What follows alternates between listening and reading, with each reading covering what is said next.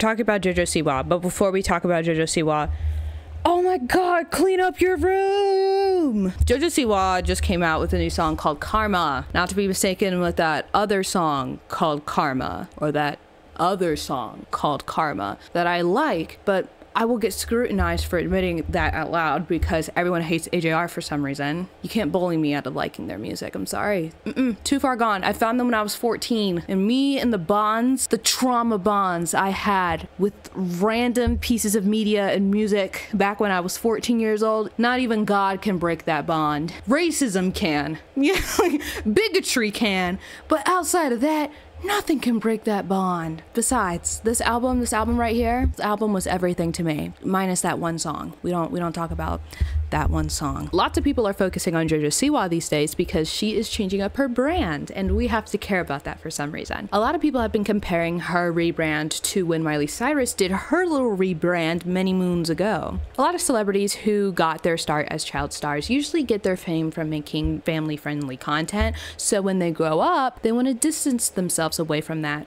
part of themselves. With Miley Cyrus though, Miley Cyrus, she's she was my hero. I love her. Yeah, Miley Cyrus, she was Disney's golden child, as many people know. Like she is the success story from that channel. And there's not gonna be another one. Do you know what's playing on the Disney Channel these days? Outside of Phineas and Ferb, I guess, nobody knows. Nobody's watching and nobody cares. Because you're not gonna get another Miley Cyrus out of these flops. No offense. But sorry, that's so mean. That's so mean. I'm sorry. Sorry, they're catching strays. They they didn't deserve that. I apologize. Hannah Montana though, we were like this. That that that's twin right there. Hannah Montana, she was my idol. If I knew how to do blood rituals when I was 7 years old, I definitely would have summoned Satan just to have the chance to visit her walk-in closet from the show. It was huge. And it was like on a rotating platform and the and the clothes were like on a conveyor belt. Why don't rich people make st- uh, you know what? I'm sure there's rich people out there who have conveyor belt closets, but I mean, not enough. I watch house tours on YouTube. Not enough if you have those. I'm just saying, if I were you, I would recreate her closet in a heartbeat, but whatever. Whatever. See, this is why I'm not rich, because this, this, these are the financial decisions I'd be making. JoJo Siwa is not that much different from Miley Cyrus in the grand scheme of things. Hear me out. Hear me out. JoJo got her start on Dance Moms and then later became Nickelodeon's golden child. JoJo Siwa was basically their Miley Cyrus. Me personally, I've always thought that Nickelodeon was like low key, like the Temu version of Disney when it came to their live action television shows. Because I wasn't watching any of those. Henry Danger, The Thunderman, uh, I don't know that Anubis shows. People talk about the Anubis show and they're like, yo, this show was so good. Nobody was watching that stop lying. And then people are coming out of the shadows being like, OMG, I loved the show. I'm like, who are you people? Who are you bots? You guys are literal bots. Kidding, if you liked that House of Anubis show, okay, let's be for real. Nobody was watching those shows but I digress. But yeah, due to me just like not taking Nickelodeon seriously at all, I don't really think that JoJo Siwa is at the same level as Miley Cyrus back when she was at her bangers era. But then again, I could be wrong. I don't know. I uh, the internet is just a lot different than what it was 10 years ago. So I, I feel like it's just, it's not fair to compare the two because JoJo Siwa has like 47 million followers on TikTok. Like that, that, that's a lot of people, guys. It's just, it's different. It's just, it's different and i don't think it's really fair to compare the two i, I just it's just it's really hard to like really pinpoint it because if we're just doing numbers alone i don't know I just, it's just hard, okay? It's difficult. Don't ask me to do that. But at the same time, though, despite me trying not to compare them, JoJo Siwa's mom did say that she wanted to help JoJo become the next Hannah Montana when JoJo got signed to Nickelodeon. So I don't know. In a way, they kind of did that to themselves. Because why would you compare yourself to the Miley Cyrus, the Hannah Montana, best of both worlds Hannah Montana, rock star Hannah Montana, this is the live Hannah Montana, I got nerve Hannah Montana? Ordinary girl. I could do this all day. I love her. I still listen to her music. I was listening to it earlier. They can't make me hate you, Hannah Montana. I love you, Hannah Montana. Maybe it's the nostalgia talking, but Hannah Montana, she was more for the girls. She was for the future bad bitches. JoJo Siwa you can't compete with that. I don't care how many followers you have on TikTok. You can't compete with that. Last I checked, you didn't collab with the Jonas Brothers on arguably one of her best songs, We Got the Party. Ah! I love the version of We Got the Party with the Jonas Brothers. Stay calm, world, stay calm. Jojo Siwa. She is in her can't be tamed era at the moment, which just looks like an evil version of her unicorns and tight ponytail era, but whatever. It's fine. People have made jokes about what's going on with JoJo right now, and you know they, I, they, they, they put their input in, but I'm not gonna give in to that temptation. That's not what this video is about. I'm not gonna sit here and make fun. No, I don't care. Yeah, if she wants to make mature music, then cool. World star approved over here. But that's not really why I'm here. That's not what I want to talk about today. Some people have brought it to my attention that this whole rebrand has been a smokescreen for something that she's been trying to hide from the public. Hmm, interesting. You can't distract me by performing those weird ass dance moves, baby girl. You can't do it. I'm on to you. Why are the bangs parting like the Red Sea? You see that? Like, you see how my bangs were like, what is going on up here, dude? Why are the strands social distancing? On February 13th, Rolling Stone published an article titled JoJo Siwa promised them pop stardom. They say they were thrown in the trash. The Rolling Stones? What? Oh, no, no, no, no, no, no. The Mighty Mighty Bosstones. You know, I'm not really familiar with that outfit, but I do love trying new things. It's a lengthy article, and I'm not gonna read you the whole thing, because what is this? A bedtime story? Do you want me to tuck you into? Turn on your nightlight? Tell you to sleep tight and not let the bed bugs bite? Grow up! I will have the article linked down in the description for you if you would like to read it on your own, though. You, you're gonna have to put in your email, though. I don't know, just keyboard spam and then put at gmail.com at the end, and they'll let you through you'll be okay. That's what I did. I encourage you to read the whole article because you will get extra credit in my class if you write me a whole book report about it. In short, the article depicts the mistreatment that a disabled girl had to endure while being a part of JoJo Siwa's dance competition show and child dance group. In 2021, JoJo Siwa and her mother, Jessalyn, Jessalyn? Jessalyn. Yeah, okay, cool. We'll call her Jessie. Hey, Jessie. Sorry. Jojo Siwa and her mother, Jessalyn, started filming their reality dance competition called Siwa's Dance Pop Revolution. 11 kids were put through a series of challenges and were competing for a spot in Jojo Siwa's dance group, XOMG Pop, with an exclamation point. It's part of the name. You got you have to add the exclamation point after the pop. You have to. It's part of the name. All right, it's like Panic at the Disco, but minus Brendon Urie. Thank God for that. XOMG Pop with an exclamation point. It's basically just a bunch of mini JoJo Siwas performing for children, and they're actually going on tour this summer. Yeah, the tickets are like 40 to $50 if anybody was planning to go. If I were you though, I would invest in the $200 VIP tickets because I finna be in the pit. We're not letting her live that down. I would attend one of these XOMG pop with an exclamation point shows, but unfortunately, I did have to sell part of my soul to go see 21 Pilots concert this summer. Yeah, I'm going on the Clancy tour. Let's go. Yeah, the ticket prices for that, by the way, appalling. Disgusting. I hope Ticketmaster gets glaucoma and gonorrhea and glucose poisoning and any other disease that starts with a G.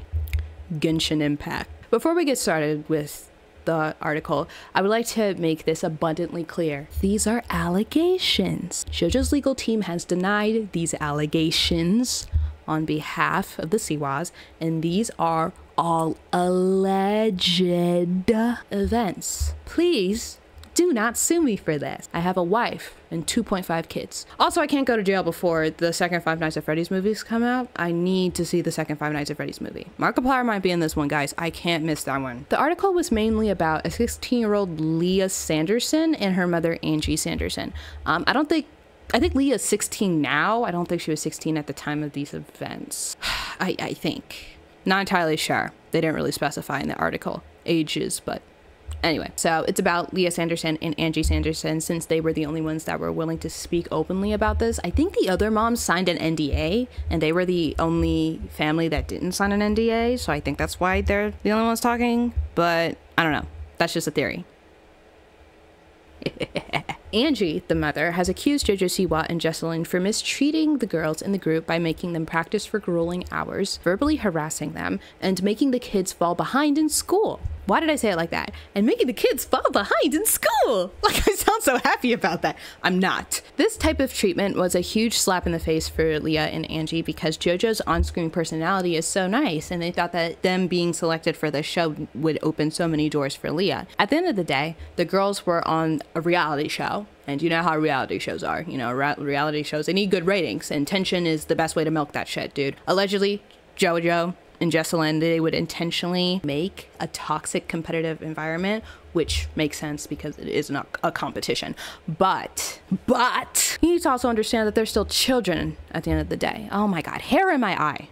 Hair in my eye. Boundaries. If I recall correctly, one of the kids that was in this group during the competition, uh, they, the, the, the, the youngest person there was eight years old. Um, what is going on here? I'm getting the, the heebie-jeebies. Friendly competition is fine. But you need to understand where the line is. And apparently the Siwas crossed that line constantly. There were these two girls on the show that were constantly being compared to each other because they were both blonde. So yeah, that it was because they were both blonde and it, it, really it got so bad to the point that one of the girls actually ended up dyeing her hair just to make the berating stop. Like that's crazy. Like she dyed it mid-season. By the way there's only one season of the show so she dyed it mid-season. I don't know. I guess blondes don't have more fun whatever that means. Hair color politics it's always been so weird to me. Oh he won't like me because i'm not blonde and i'm brunette. What if i put a bomb in your mailbox I'm sorry. There was also some ableism that allegedly took place on set on two separate occasions. There was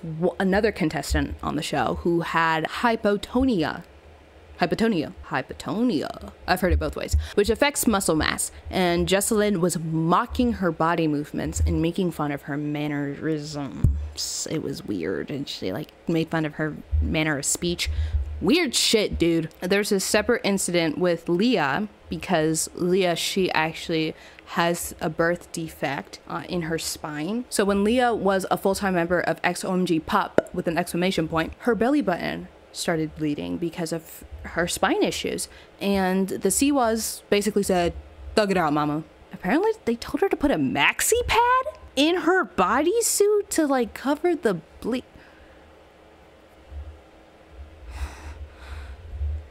Oh, okay. Yeah, basically the Siwas, they just did not accommodate or really care about the girls who had ongoing health issues. And it sucks, but a lot of people put up with these kind of like awful conditions when it comes to the entertainment industry because of the payoff.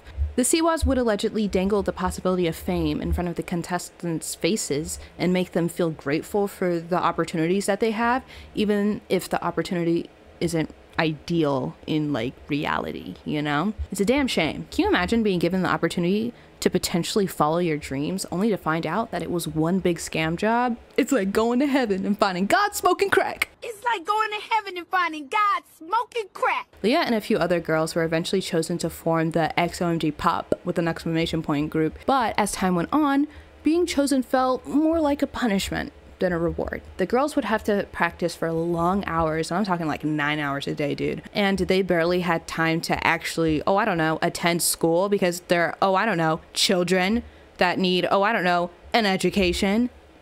But I digress. A lot of child stars do school remotely, and you know, usually like the teachers or they, I don't know who does this, but like there's like a log of the actual activity and like how long they actually participate in school. And so in December of 2022, Leah had only done six hours of school for that entire month. The girls also had to do extensive shoots for social media, which brings a huge issue that a lot of people have when it comes to influencer culture. As we all know, Child labor in the entertainment industry has been a huge issue in the past, and luckily, there have been laws that have passed to try to protect the kids. You know, unfortunately, Hollywood is still a cesspool full of Dan Schneiders, so the industry has a long way to go when it comes to that. But at least there are some laws that try to protect them. With social media, however, the law has yet to catch up. A lot of people, including me, have issues with family vloggers and adults who basically just exploit children for views. Despite how we feel about family vloggers, there haven't really been any concrete laws against it, and it's, I don't know, it's just, it's stupid. And it's mainly because of the old farts in Congress that are too busy doing uh, nothing. I'm convinced that half of those fossils don't even know that they're still alive. Like they're just, they're staring at a wall with a blank stare. It's just, it's really sad. So we're just watching a bunch of people go senile and make arbitrary laws. God bless America though, right? Land of the free, home of the brave. With XOMG Pop, with an exclamation point, the same thing applies. The group has amassed a huge social media platform with their YouTube being their most followed place. Like they have over 12 million subscribers over there, which is fishy because it's like, didn't they just form this group yesterday? Where do these people come from? Until you scroll down a little further on the on the on the page and you realize that it's it was JoJo Siwa's old YouTube channel, and she just rebranded it for XOMG Pop with the exclamation point. Wow. Look at all those Colleen Ballinger collabs. Toxic gossip train. She'll never let that down. And I won't let her. Whatever she does, we're not gonna forget. If Colleen Ballinger has zero haters, then I'm dead. Leah and her mom were in a financial pit when they were in the group because LA is expensive as shit. And Leah had to go to the hospital due to her health issues. It was just, it was becoming too much too fast, really. Angie wanted to stay in California and support her daughter because, you know, this this was her dream. But the work schedule was a nightmare. Finally, Angie snapped at some point and she just went off on the other moms which inevitably it got Leah fired from XOMG Pop with an exclamation point. I'm gonna, I'm, I'm, I'm sorry, I'm gonna stop saying that. I'm just gonna call them XOMG Pop with an exclamation point. you know what the biggest kick in the nuts was for, for this whole ordeal? It, it, it's that the group, they were still using promo with Leah still in it. And they were selling merchandise with Leah still on it, despite her not being in the group.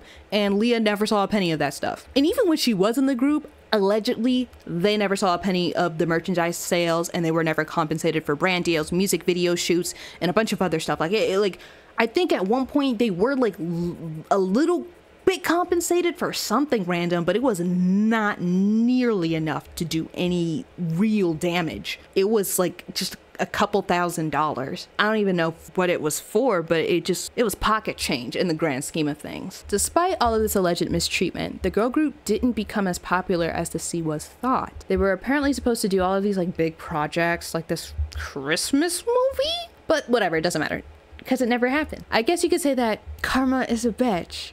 And she should have known better. A lot of people are saying that the song is catchy. I admit it's a little catchy. But you know what else is catchy? The bubonic plague. So, you know, securing Meghan Trainor on that Christmas EP was just, it was not enough to keep that group afloat. Yeah, they, they, they, they booked Meghan Trainor for an EP. I don't know. Meghan Trainor seems like she has a good heart. God bless her. But yeah, despite Meghan Trainor and her best efforts, and you know, unfortunately, those lips, they were not moving fast enough for them. Unfortunately, you know, they just weren't all about that bass. Insert another Meghan Trainor joke here. Didn't matter and the group inevitably it really it, it just was a failure. I mean they're still posting and there again there's that tour that's coming up this summer but you know for the most part the group is kind of just a flop. Womp womp. I do feel bad for the girls though. Um you know they're they're innocent in all of this and they you know they just wanted to follow their dreams. I really show any pictures of the group themselves because i didn't want them to be the subject of scrutiny as i'm talking shit about the whole thing. Like i don't i I don't want you to think that i'm trying to uh, throw negativity at the girls specifically because it's not their fault. This is about the Siwas channeling their inner Abby Lee Miller and becoming these ruthless managers. Allegedly. What's that old saying? You either die a hero or live long enough to become the villain? I should get that tattooed on my ass. Yeah, right there. Get a tramp stamp. It's a good quote. We should all get it. Matching tattoos, matching tramp stamps. Let's all get it. Yeah. Who's with me? I'm down. If you're down, say aye. Aye. What's even more shocking is how Jessalyn allegedly acted, allegedly, throughout the whole show and the whole girl group process. Like, she's a mother. Jessalyn, she's a mom. And she was at ground zero when Dance Moms was being recorded. Like, if I remember correctly, actually, didn't Abby Lee Miller not even want JoJo Siwa on the show in the first place? Like, you would think that the Siwas of all people would be more thoughtful when it came to their method of managing a group of young girls, but I guess that's just not that's not always the case. What a shame. What a shame. Again, this is all alleged information, and the Siwa's legal team denies the whole damn article. There are many details that I left out in this video because I, I just didn't want this video to be me paraphrasing the article because it, it, you could read the whole thing in 10 minutes. Like, you don't need me to tell you but I digress. I just think that these allegations are extremely unfortunate, and I hope that Leah is doing well emotionally and physically. Uh, losing an opportunity like this has got to be such a blow in the ego. Like, this must really suck, you know? Even if the Siwas were allegedly terrible, you know, at the end of the day, this was a, an opportunity. They lost it. Despite everything, it's like, it's really, it just, it's icky. I'm sorry. I don't know why I'm, I'm apologizing. I didn't do anything, but I'm sorry. And I also feel really bad for the mother, Angie, who had to put out for so long and was barely reimbursed for the whole thing. Leah is not Angie's only child. They had to leave multiple children behind back in Texas just to support Leah's endeavor. And for what? And for what? All of this for what? Jojo Siwa released her new song, and sure, I could sit here and make fun of that, but that would also require me to care to some degree. And I don't. Let her kiss girls and make whatever the hell that gesture is. There is not a song on the goddamn planet that requires you to be doing all of that. it's really easy to blame JoJo Siwa solely for everything that allegedly went down with the OMG pop with an exclamation point group because it's her face and brand on the line. But, you know, we have to remember that her mom, she is just as culpable, if not more culpable because she's a grown ass woman that should know better. Listen, JoJo Siwa, she's not absolved from criticism at all simply because, you know, she's the daughter. But let's not forget who else was in the room and encouraging this awfulness as well. Allegedly. Allegedly. Anyway, that'll be it for today's video. If you liked the video, so did I. You're not special. Why do I do that every video? Sorry. Some people were commenting that in like my boy mom's video when I yelled subscribe, the little subscribe button like lit up. I didn't even do that on purpose. But I remember Markiplier talking about that in one of his videos. So maybe I'm gonna start doing that. Subscribe! I'll just jump scare you. Subscribe! If you like the video, like the video, like the person, subscribe to the video, subscribe to the person, do whatever you want. I don't care. All my links to my social medias will be down in the description. What can I say? I, I am Mrs. Worldwide. I am everything everywhere all at once. I'm gonna eat my mango now. Bye.